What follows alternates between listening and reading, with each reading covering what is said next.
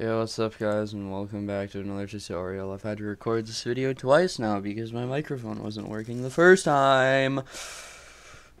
Mm, I'm also getting a new PC which is going to be litty titty and I'm going to be able to upload videos a lot more. So, what, uh, I need to open my door, hold on. E. There. Alright, so I'm going to teach you how to get rid of the black bars in a 4x3 resolution on CSGO, and if you don't know what a 4x3 resolution is, well, you have absolutely, like, no brain cells.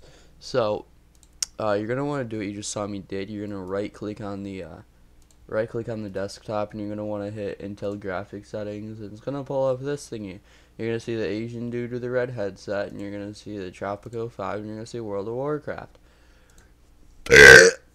Oh, he's left-handed, by the way, because he's Asian. But you're going to want to click display.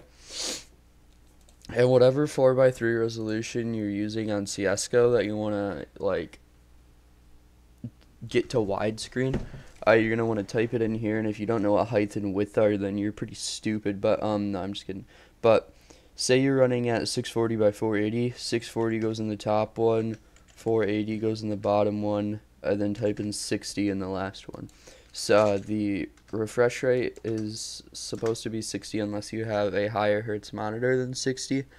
Um, then you can change it up. But if you go to your general settings, you're going to be able to see refresh rate here. Never put it to 60i because that just kills you.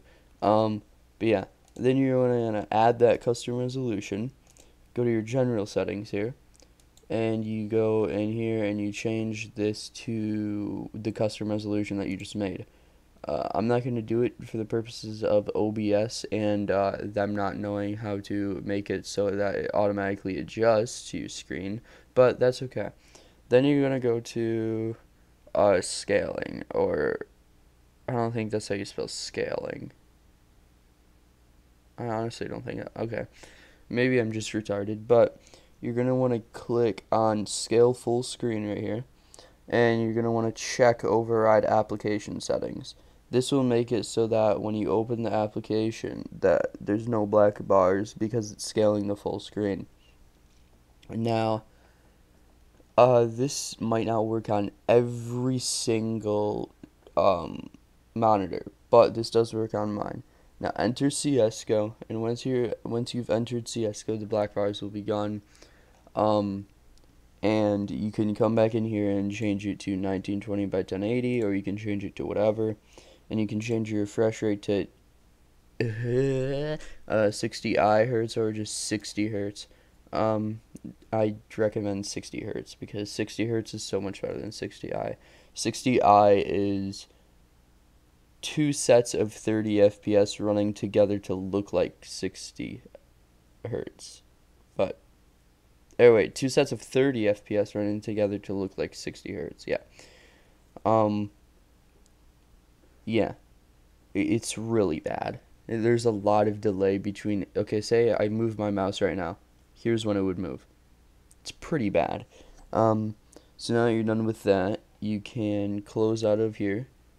And once you go back into CSGO, it should keep um, no black bars. And that's how you get rid of black bars on CSGO and a 4x3 resolution.